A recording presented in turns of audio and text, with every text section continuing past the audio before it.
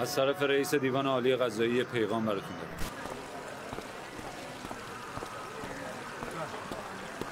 بده اون کیف منو. چیزی شده آقا به شما مربوط نیست. میگم بده اون کیف منو. وایسا وایسا وایسا. پیغام آقا بهشی چی بود؟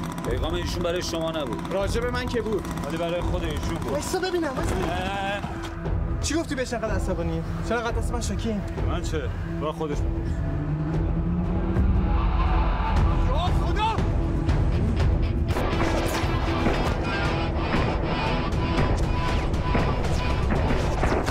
دست تیر خورده داره خون چیزی میاد. نیست حاجی جان چیزی نیست. داره خون میاد بذار دستتو ببندم. حاجی فقط بهم بگو بهشی چی گفت مهم نیست. داره خون میاد میگم بذار ببندم دستتو حاجی یه کلام. فقط بهم بگو بهشی چی گفت خلاصم.